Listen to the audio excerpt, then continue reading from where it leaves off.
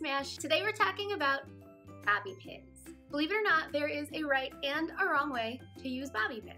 And if you're using them incorrectly, you're just not gonna get the results you're looking for. So I have four tips today that are gonna help you be a better bobby pinner. So let's stop messing around.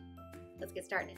Number one, most important, if you ignore every other thing I tell you in this video, please just do this one thing, get you some good bobby pins. If you've been buying your bobby pins at the drugstore, you need to stop it. You need to stop that right now. Bobby pins are not all created equal. Drugstore bobby pins, no. No, just no. Stop, no. No. Professional grade bobby pins are head and shoulders above the bobby pins that shall not be named. I buy mine from Sally's. I love them. You can get a 300 pack uh, for $7. It's not gonna break the bank. One of the biggest differences, the most important difference, is these are strong. They're strong. They are going to grip the hair better, they're gonna hold it tighter, and they bounce back. They maintain their shape. They're not gonna end up being all stuck open. Bonus, because these bobby pins are better, you can reuse them over and over and over again until the end of time or until you lose them all, whichever one comes first. A number two, don't open your bobby pins, guys. But smash, everyone has been opening their bobby pins forever. Why shouldn't I do it? Let me put it to you this way. A paper clip is really good at holding a couple sheets of paper. But if you try to cram a paper clip on a whole ream of paper, useless. Pointless, it's not gonna be able to do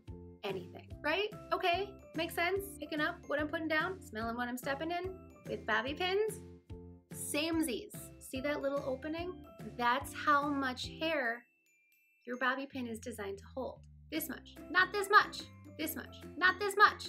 Number three, this one surprises a lot of people. The wavy side on your bobby pin goes down. It goes against the head. Here's why. The wavy side of the bobby pin is what creates grip. The top side of the bobby pin, the flat side, is meant to hold the hair down and in place. So real quick, right, wrong, yes, no, winner, loser. And last but not least, sometimes you're gonna find that you put a bobby pin in your hair and it's just not feeling very secure. Crisscross your bobby pins.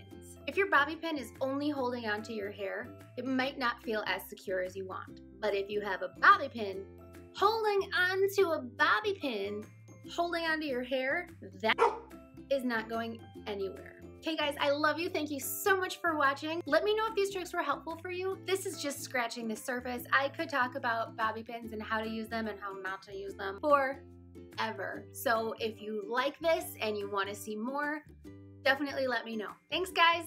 See you next time.